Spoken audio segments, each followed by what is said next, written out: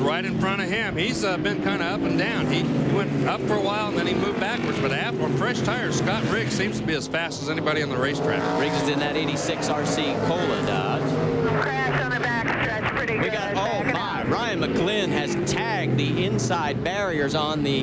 Not. And Let's get a look at it here. Oh my. Man, he rolled it. He got upside down. He got clear into the inside of the truck. He hit those big tires that were protecting uh, protecting that inside guardrail.